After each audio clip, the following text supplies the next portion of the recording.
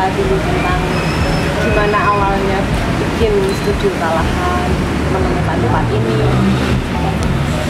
Iya, sebenarnya cita-cita saya itu pengen punya studio. Um, tapi saya tinggal di rumah dari mbah saya gitu, di Lempuyangan, di Ronodik Dayan. Jadi jadi saya uh, apa uh, kontrak beberapa rumah sebelum dapat tempat ini gitu karena kita membutuhkan apa uh, ruang gitu jadi saya waktu itu berpikir bahwa uh, studio lebih penting daripada rumah gitu. Dan kalau ada rumah saya berpikir dulu rumah itu berada di dalam studio. Jadi bukan apa uh, studio itu lebih kecil daripada rumah. Jadi uh, waktu terakhir saya kontrak di Proto Wangsan itu dekat Sidoarum uh, saya melihat ada satu rumah yang kosong yang orang-orang pada takut dengan rumah ini gitu. Jadi saya pas lewat ada tulis tulisan rumah dijual. Tapi pemiliknya itu orang dari Semarang. Jadi nomor telepon depannya itu sudah dipotong sama tetangga mungkin supaya mungkin saya harus uh, kontak sama tetangga itu sebelum beli rumah ini. Tapi setelah saya ke Telkom orang Telkom bilang ini nomor telepon Semarang gitu uh, kalau nggak salah depannya angka 7 apa apa. Jadi 627 eh 624 terus 7 berapa gitu. Akhirnya yang saya lihat cuma nomor, nomor depannya aja 7 berapa gitu ya belakang. Jadi nomor nomor kotanya nggak ada. Setelah saya kontak ke Telkom saya telepon Pak Nuso namanya tapi sekarang orangnya sudah meninggal. Uh, uh, Pak Nuso di Semarang itu. Terus kemudian uh, kita janjian gitu untuk ketemu di sini. Jadi dari Rono Dayan saya naik sepeda. Saya naik sepeda sampai sini. Di bawah pohon kelengkeng kita meetingnya gitu. Tapi dia heran kok saya naik sepeda? Dia berpikir apakah orang ini stres mau beli rumah? Gitu. Saya bilang saya nggak bisa naik motor saya nggak bisa naik mobil gitu. Bisa cuma naik sepeda.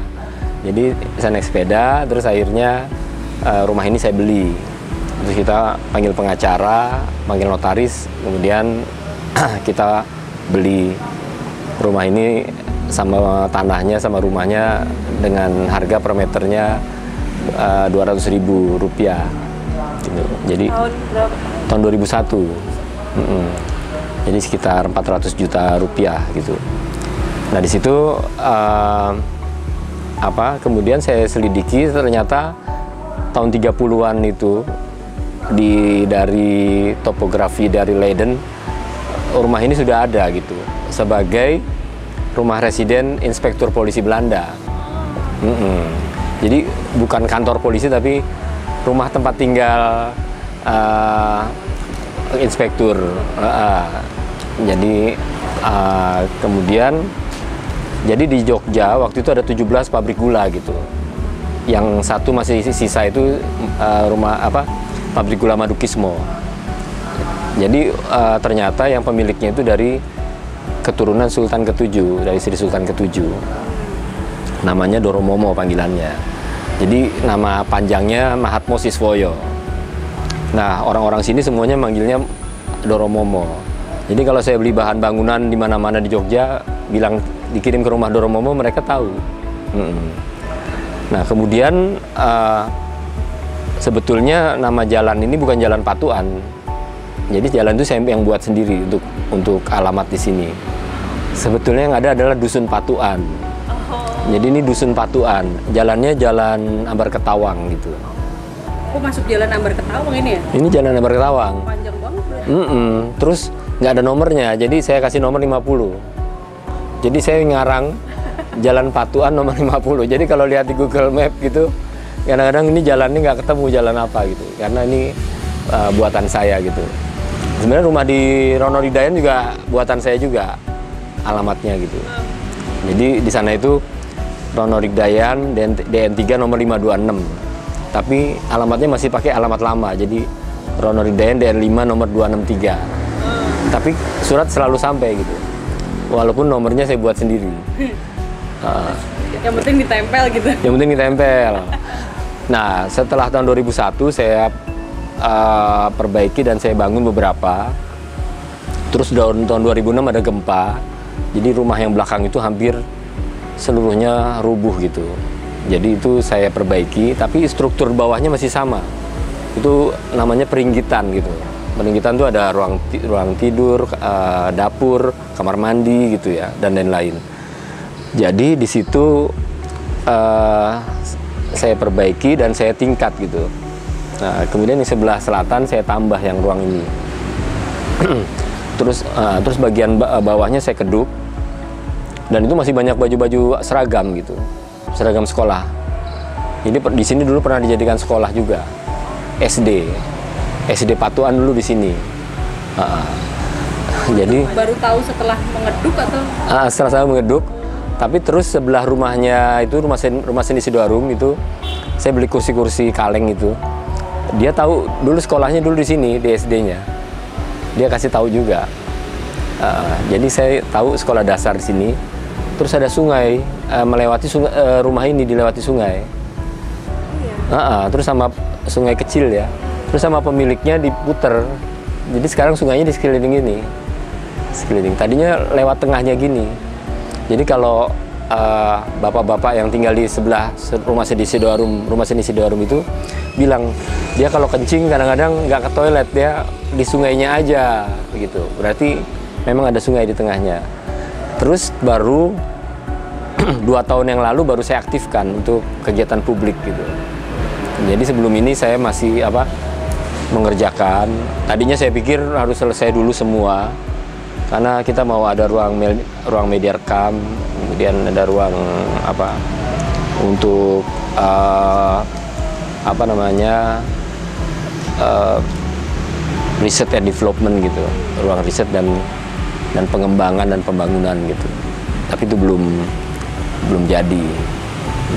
Menunggu Oh, itu jadi tadinya rencananya nunggu itu jadi baru dibuka untuk publik Untuk publik. Kalahan. Mm-mm. maksudnya publik itu untuk pameran ya untuk program lah Program. Eh, program workshop pameran macam-macam tapi kita harus memfasilitasi dulu seluruhnya infrastrukturnya terus kemudian ruang kerja kemudian apa eh, fasilitas-fasilitas apa yang diperlukan gitu tapi ini sambil jalan sambil sudah mulai eh, publik mulai apa menggunakan gitu itu diawali yang Yogyakarta Open Studio bukan?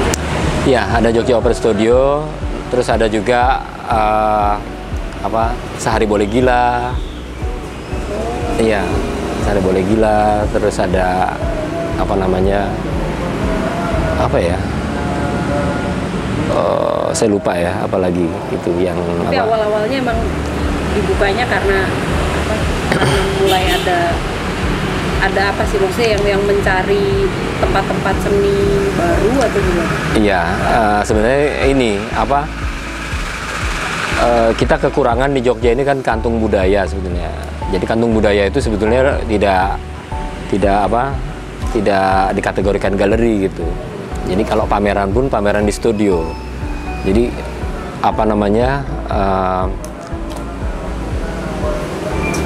apa pengkotakan seni itu su- sudah begitu terlalu ini ya terlalu membatasi membatasi apa namanya ruang gerak eksplorasi seni gitu jadi kantung budaya itu saya kira lebih lebih fleksibel dan lebih melihat bahwa studio itu tidak hanya untuk memproduksi karya-karya apa dari seniman sendiri tetapi juga untuk memproduksi pemikiran-pemikiran baru gitu lebih kepada produksi pemikiran daripada artefak ataupun uh, produksi karya karena produksi karya itu di belakangnya adalah intelektual seninya gitu Jadi kenapa mas? Kenapa selalu cari tempat angker? supaya murah Karena murah, yang penting murah.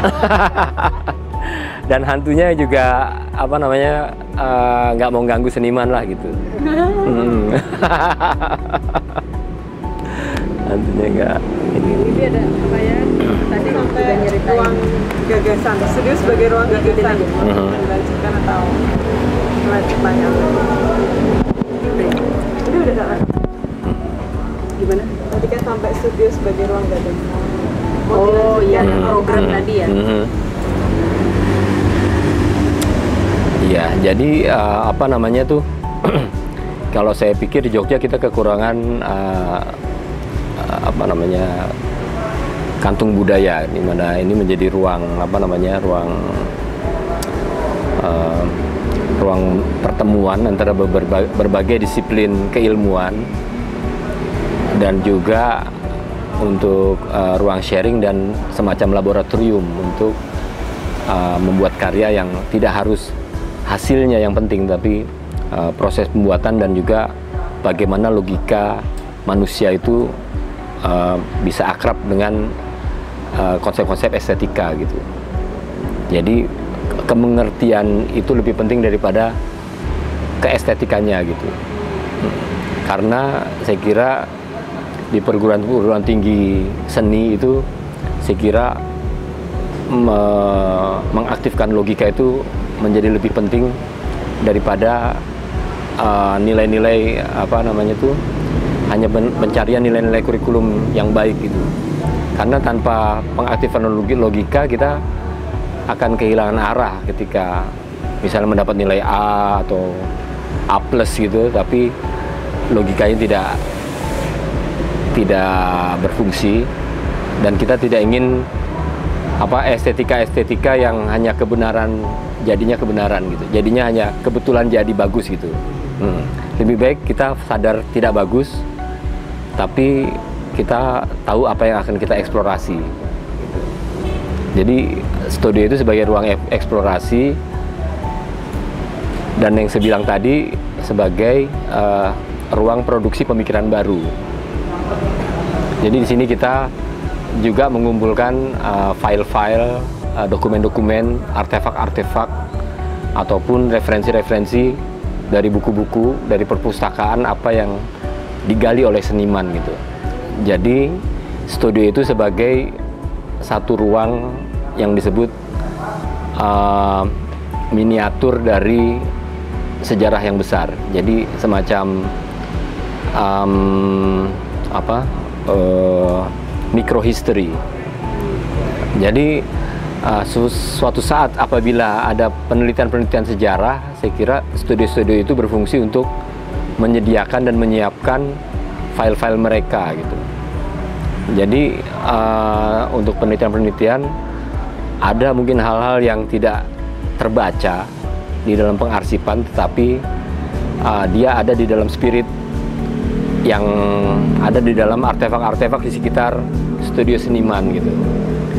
Karena kadang-kadang dia punya mungkin souvenir dari mana dan itu mengilhami dia.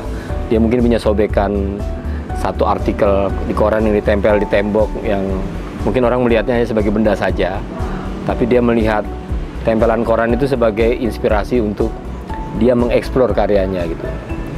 Jadi bukan seperti kalau orang kuliah di Asri dia harus pergi ke Candi Prambanan membuat sket Prambanan tetapi bahwa artikel-artikel itu bisa menstimulasi seniman untuk mengeksplor suatu uh, karya gitu jadi karyanya bisa dalam bentuk video dalam dalam bentuk apa instalasi performance ataupun seni-seni yang konvensional gitu Nah, jadi idenya itu tidak lagi benda tapi pemikiran gitu. Itu yang saya kira uh, lebih penting itu. Di mana nantinya hasil karya itu punya referensi banyak dari penulisan-penulisan. Gitu. Misalnya uh, dari bukunya Gavian Menzies tentang perjalanan Laksamana Cheng Ho misalnya yang yang tahun 1400-an dia sudah keliling dunia misalnya. Ini bisa mengilhami seniman untuk membuat karya-karya gitu. Kemudian uh, ruang imajinasi seperti uh, apa namanya Atlantis yang hilang gitu kan. Ternyata di, ada di daerah Indonesia misalnya. Nah itu juga bisa mengilhami seniman membuat sesuatu karya seni gitu. Nah kalau kita harus apa mereferensi dia dengan objek apa yang dibuat, saya kira itu apa uh, apa namanya uh, terlalu fisik ya di, apa namanya uh, kalau dulu dalam seni modern mungkin itu penting gitu hmm. misalnya tentang candi borobudur candi topeng atau tentang motif-motif di batik kayak gitu tapi saya kira inspirasi dari pemikiran-pemikiran itu saya kira lebih penting karena itu studio itu untuk memproduksi pemikiran-pemikiran baik secara intuitif si seniman sendiri maupun dari dialog gitu. Misalnya kita bikin workshop, kita bikin apa namanya eh, seminar atau diskusi gitu. Jadi sharing pemikiran. Uh, selain juga ada pameran gitu. Jadi kayak kemarin itu tahun kemarin kita ada pameran tiga seniman yang dua dari Afghanistan, yang satu dari Inggris gitu. Itu tentang mempertanyakan tentang apakah seni kontemporer itu masih ada atau sudah mati gitu. Berarti kalau aku boleh menyimpulkan eh, studio ide studio dibuka itu dia sebagai ruang informasi mengenai gagasan di balik karya gitu ya. Jadi dia dibuka untuk kita memahami apa saja yang yang menimbulkan gagasan-gagasan seniman gitu kan. Itu ya. Iya, kalau kita lihat metaforanya sebenarnya gini. Galeri itu sebenarnya ruang tamu gitu, ruang pajang. Studio itu dapur. Nah, sekarang itu restoran itu yang dapurnya itu justru bukan di belakang bagian belakang. Restoran itu justru dapurnya itu di depan. Jadi konsumen itu bisa tahu bumbu apa sih yang dimasukkan di makanan dia, ya kan? Udah gitu kalau di belakang tuh jangan-jangan di recycle sama yang yang masak ya.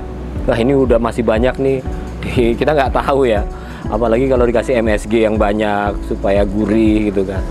Jadi kita sebenarnya eh, studio itu seperti dapur yang kalau di restoran dapurnya di bagian depan. Jadi eh, eh, eh, apa konsumen atau ma- masyarakat bisa lihat jelas kita ini bikin apa sih sebenarnya gitu. Terus eh, tidak ada rahasia di situ. Hmm. Jadi eh, selama ini kan studio itu hanya untuk eh, seni- eh, untuk pribadi, eksplorasi seniman secara pribadi. Bahkan mau masuk ke studio aja kadang-kadang nggak semua orang bisa masuk. Kemudian eh, apa namanya semua masih berpikiran yang sama gitu bahwa nanti takut dicuri idenya kayak gitu. Ruang sakral terus hanya tamu-tamu tertentu yang bisa masuk. Tapi saya kira fungsi-fungsi studio saya kira eh, sudah tidak seperti itu gitu apalagi sekarang ada dunia dunia apa namanya tuh eh, dunia maya ya dunia internet ya yang ada Instagram ada Facebook ada segala hal yang orang masuk itu misalnya dilarang memotret dengan kamera tapi orang punya handphone yang bisa motret juga. Ya, jadi eh, udah nggak bisa dibatasi gitu ininya. Jadi saya kira eh, studio itu apa punya fungsi-fungsi sosial yang baru Kalau program-programnya sendiri untuk mewujudkan gagasan itu studi kalahan kayak misalnya research ya, atau sudah sudah memprogramkan atau Ya, kita sebenarnya masih masih apa namanya eh, mem- mencoba memfasilitasi dan menyiapkan eh, semuanya ya. Ya, kita jadi mungkin akan buat buat website juga tahun ini, kemudian apa eh, memfasilitasi ruang kerja umpamanya. Terus juga kalau ada riset kita sudah mulai, eh, cuma masih sifatnya apa sifatnya itu belum diprogram betul gitu secara secara intensif karena baru dua tahun jadi kita membuat kerangkanya dulu membuat eh, balungan Eh, karena balungan ini yang bisa membuat apa tulang manusia ini yang bisa membuat kita bisa menjadi berdiri tegak gitu ya. Jadi kita membuat strukturnya dulu yang pen- yang pasti gitu. Jadi kita sudah eh, memfile dokumen-dokumen karya saya misalnya. Hmm, dan itu bisa mungkin bisa menjadi satu apa semacam prototype nantinya untuk eh, konsep-konsep studio yang lain gitu. Tapi bukan berarti ke e- masalah ego gitu. Tetapi bahwa eh, pengarsipan karya itu eh, eh, sangat penting gitu. Karena eh, otak dari semua karya yang sudah ada itu ada di dalam file-file itu gitu. Jadi uh, buku harian, kemudian sketsa-sketsa, kemudian foto-foto sebagai suatu arsip yang otentik gitu. Hmm, bukan dikarang oleh kurator ataupun kritikus seni gitu. Semua ada di sana semua, jadi tidak ada karangan-karangan ya. Semua ada di sana. Jadi orang bisa mempersepsikan data-data objektif itu untuk penelitiannya gitu karena penelitian kalau terlalu banyak apa persepsi yang intuitif akhirnya menjadi sesuatu yang tidak objektif lagi tetapi kalau semuanya tulisan ada di sana uh, bagaimana uh, pemikiran untuk membuat karya tahun 90-an tapi tahun 80-an sudah dirumuskan misalnya jadi rumusan-rumusan karya yang ada di tahun 80-an bisa dibaca di karya-karya setelah itu gitu. Hmm. Sendiri punya program tetap tahunan atau gimana? Kalau studi kalahan punya um, kita punya program tapi masih apa namanya tuh uh, orang kirim proposal gitu. Terus kemudian uh, kita masih juga sibuk sama apa uh, aktivitas uh, karya saya yang akan dipamerkan gitu. Jadi misalnya bulan apa gitu ya, itu kayaknya nggak bisa karena senimannya lagi sibuk misalnya kayak gitu. Masih belum benar-benar 100% bisa gitu. Tapi kita uh, apa buat uh, percobaan-percobaan misalnya seniman dari Austria pameran di sini kemudian seniman dari mana gitu ya yang kemudian kunjungan-kunjungan uh, mahasiswa seni gitu dari IKJ dari apa uh, Universitas Negeri Malang gitu. Dari mana-mana itu kita menerima dan mencoba untuk menghadapi itu gitu. Bahkan waktu sehari acara sehari boleh gila kita juga menyertakan uh, apa pasar organik gitu. Pasar kuliner organik. Jadi ada 20-an lebih grup yang mem, apa uh, yang menginstal ininya di sini. Jadi kita mencoba mengakomodir semua, tapi mungkin mudah-mudahan tahun depan kita sudah punya program tetap dari Januari sampai Desember gitu ya. Dan kita tahun ini kita akan punya website, jadi orang bisa lihat programnya. Sebenarnya gini, uh, sejak saya kuliah dulu tahun 80-an, uh, banyak sanggar-sanggar yang rontok gitu hanya beberapa sanggar yang masih survive misalnya sanggar bambu kemudian sanggar dewata.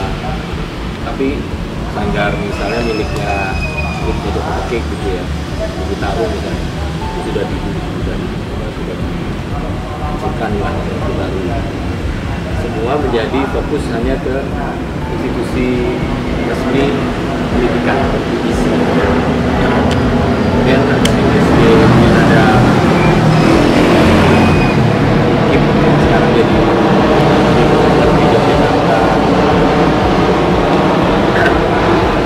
jadi secara spirit dan mental orang-orang yang bekerja di sanggar dengan orang-orang yang, bekerja di akademi seni itu berbeda.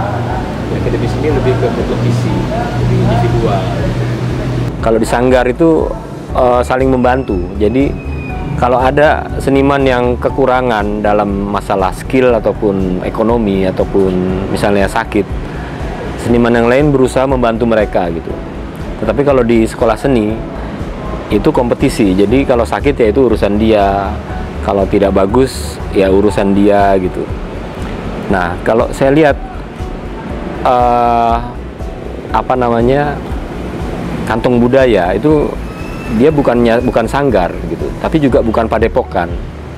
Dia semacam ruang di mana berbagai kegiatan budaya, misalnya uh, sastra gitu, kemudian uh, tari, kemudian seni pertunjukan, seni rupa, desain, semua bisa mengeksplor di, di satu tempat gitu, di satu tempat yang namanya kantung budaya, bahkan yang non seni sekalipun gitu. Jadi uh, tidak tidak menjadi apa ya eksklusif maupun membatasi dengan uh, apa namanya disiplin-disiplin masyarakat yang lain gitu. Kita bisa bekerja sama dengan uh, apa namanya uh, apa dari disiplin ilmu yang berbeda, misalnya dari Universitas Gajah Mada, misalnya dari apa namanya beberapa universitas di Indonesia, misalnya di Jakarta, di Bandung, maupun di Surabaya dan lain-lain gitu.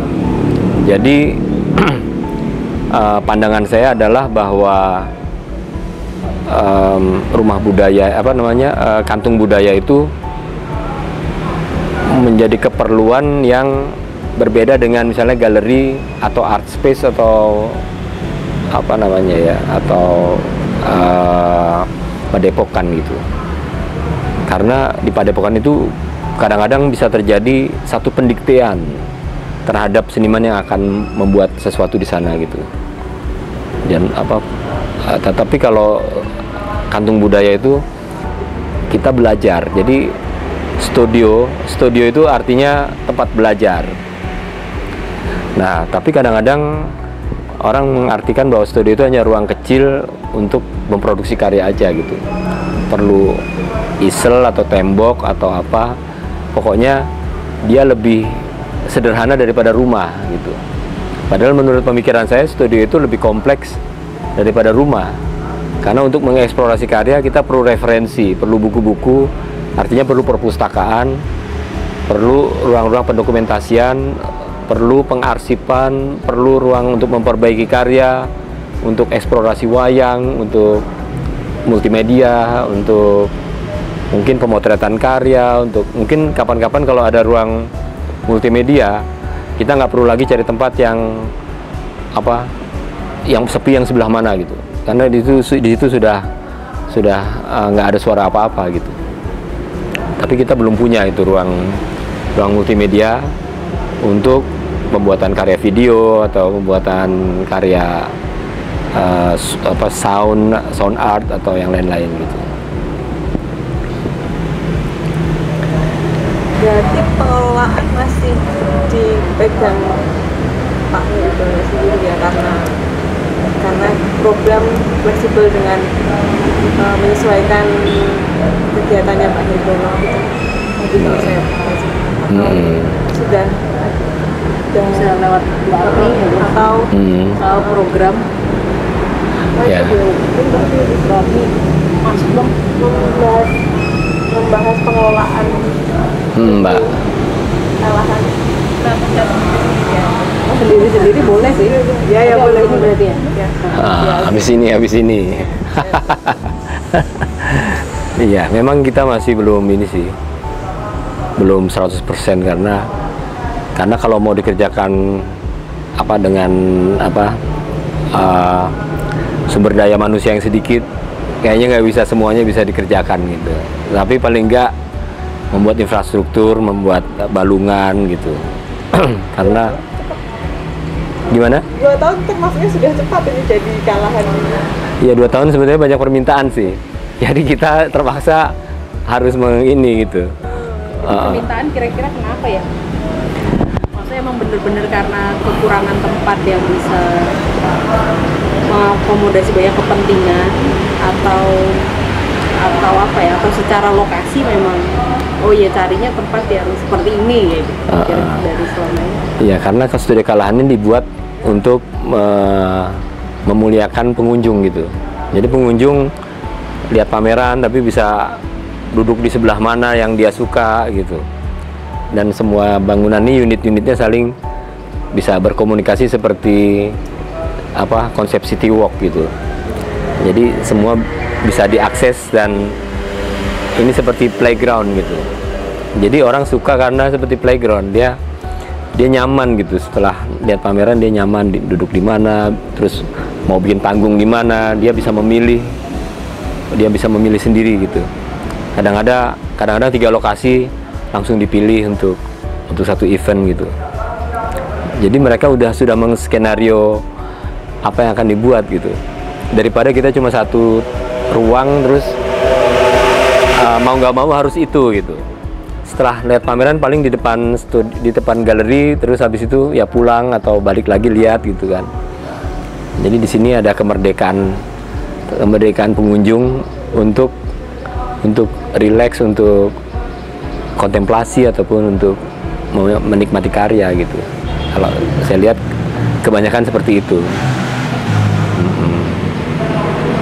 kalau seniman-seniman yang pernah memakai ruang ini sendiri gitu dulu ceritanya latar belakangnya mereka eh, karena mengajukan ke Pak Heridono atau Pak Heridono menawarkan kebanyakan mereka mengajukan gitu.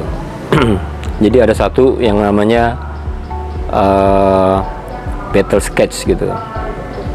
Jadi perang sketsa. Jadi kita bikin kayak ring tinju di bawah pohon itu bikin ring tinju terus di bawah basement tuh kita bikin beberapa meja terus eh, pertandingan skate antara seperti pertandingan catur tapi skate terus masuk final masuk finalnya di ruang ring tinju itu jadi eh, sketsa seperti sport gitu Mm-mm.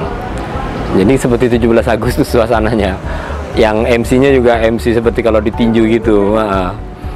Terus yang dari seniman tiga orang itu em, apa Mumtaz, Amin dan David itu mereka pameran di sini dan mereka memilih ruangnya sendiri-sendiri gitu.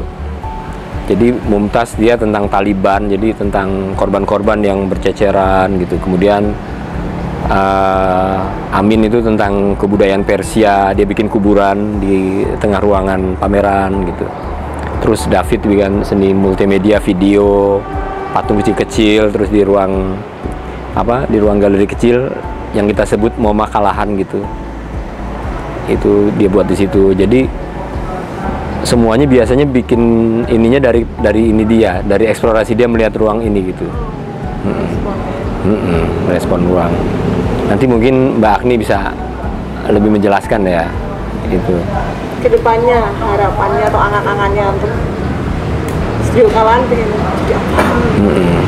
Sebenarnya angan-angannya saya kalahan tuh ingin membuat semacam eh, apa wilayah laboratorium untuk memikirkan tentang eh, museum-museum yang eh, ada di seluruh Nusantara gitu. Museum Wacana namanya.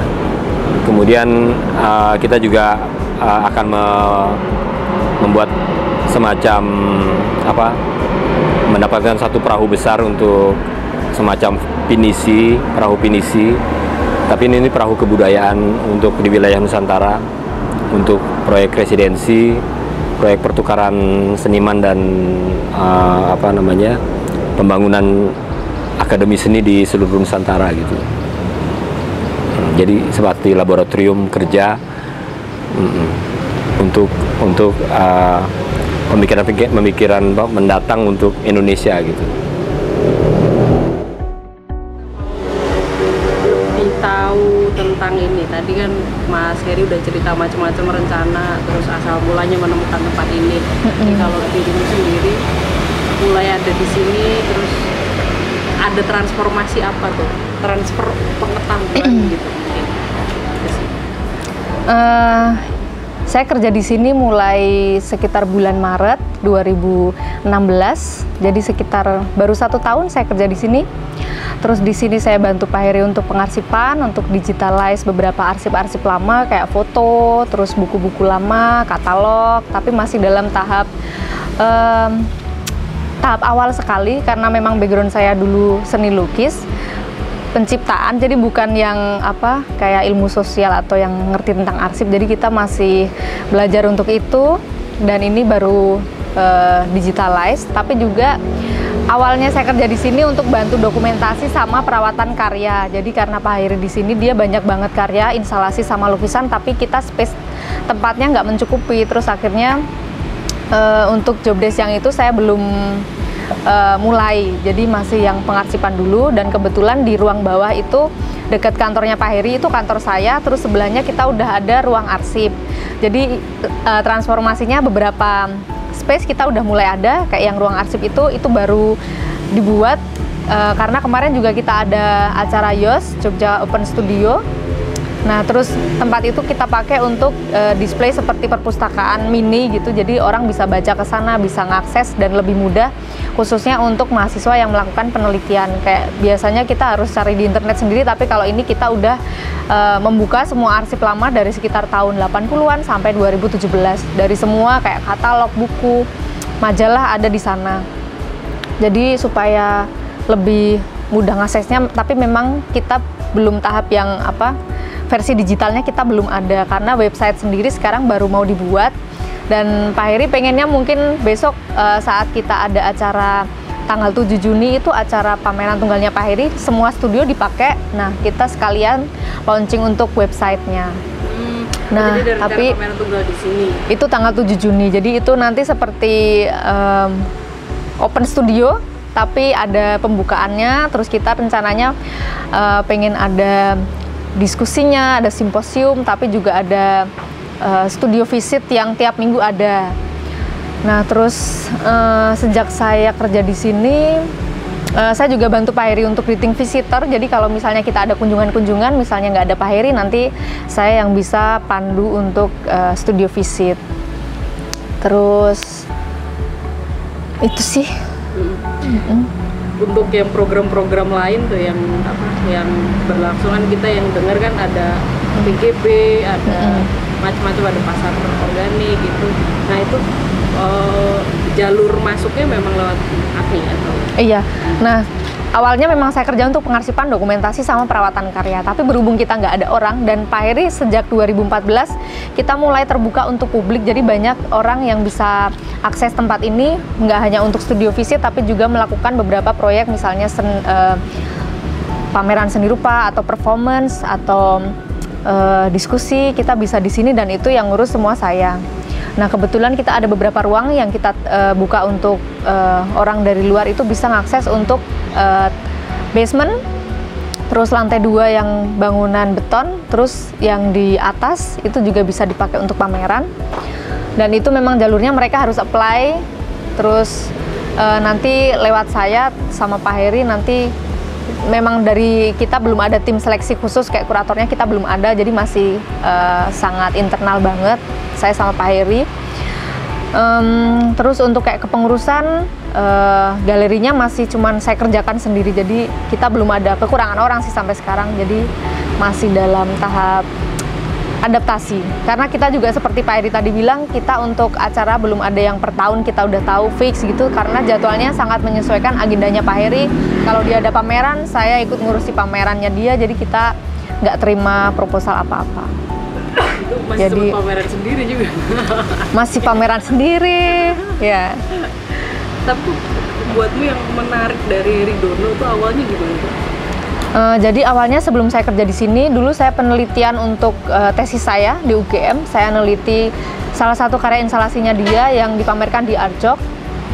Nah, terus saya wawancara segala macam sampai penelitian itu selesai. Terus akhirnya dia tawarin saya kerja di sini dan akhirnya eh, bagi saya ini tantangan yang menarik karena untuk menjadi seorang seniman, saya lihat dia saat saya penelitian gitu ter- ternyata arsipnya banyak sekali dan itu dia kumpulkan sendiri. Jadi terus dia nawari saya kerja, artinya dia ingin membagi kayak pengalamannya, terus proses kerjanya dia saya bisa tahu dan ngerti dari saat dia bukan siapa-siapa gitu dan itu menarik buat saya karena bagi saya kadang eh, tugas seniman gitu kadang mungkin produksi karya itu penting tapi kayak pengarsipan gitu ternyata hal yang jauh lebih penting dari itu karena lewat itu orang bisa menghargai prosesnya dan ketika karya itu selesai pemaknaan pemaknaan untuk karyanya jauh lebih besar.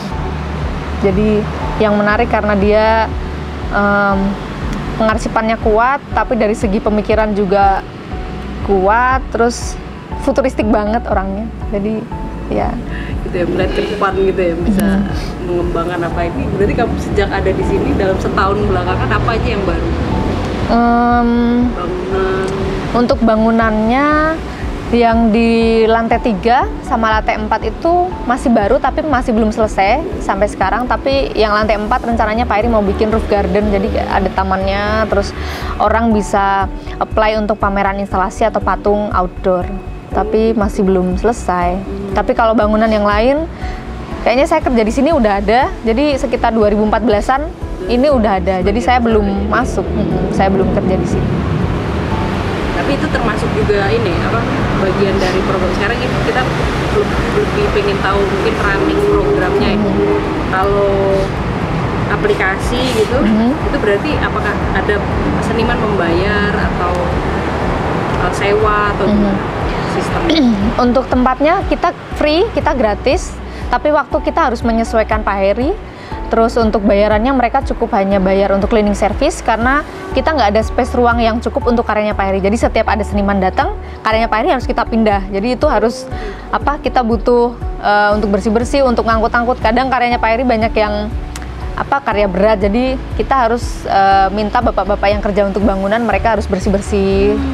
Itu ada biaya cleaning service sama untuk listrik karena kebanyakan karyanya Pak Heri yang lain semuanya pakai listrik dan ketika ada kunjungan kita nambah daya. selalu eh, eh, jadi agak susahnya di situ. Cuman untuk ruang kita free.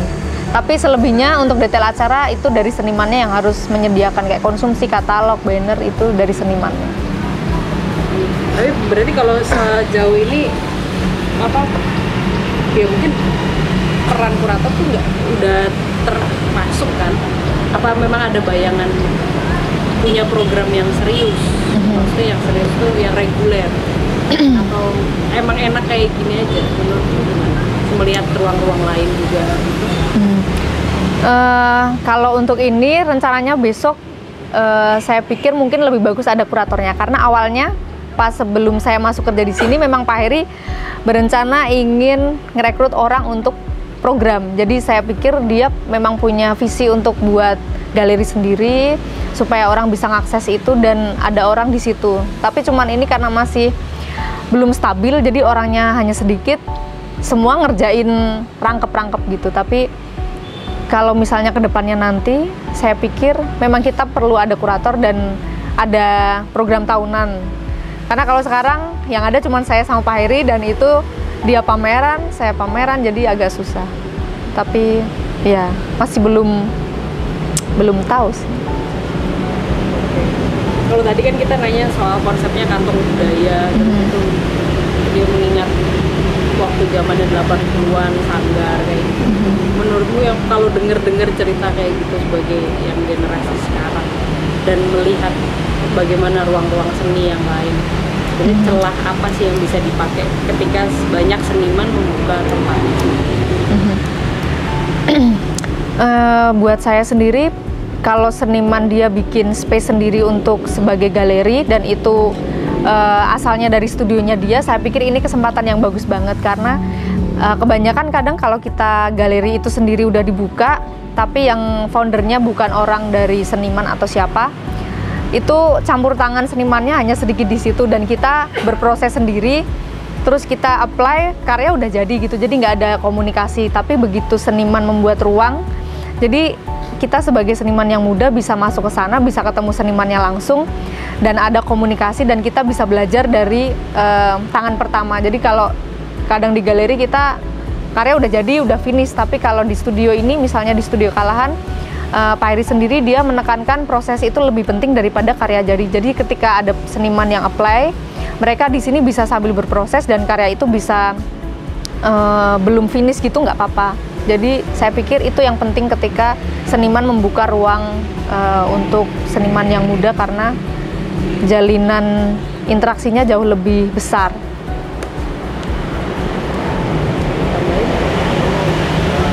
Tanya mungkin eh, selama ini kan tadi yang sudah dijelaskan eh, program-program di studio kalian yang ditujukan bagi seniman primasnya untuk membuat penelitian gitu ya kayak penelitian tentang seni. Nah yang mau saya mau tertarik malah eh, adakah program dari studio kalian sendiri yang pernah dilakukan eh, bagi masyarakat yang di sekitar? Membuka ruang bagi masyarakat yang di sekitar? Em, kita biasanya memang eh, pernah ada dulu sehari boleh gila, tapi itu pun juga inisiat eh, inisiatornya dari Pak Dwi Marianto.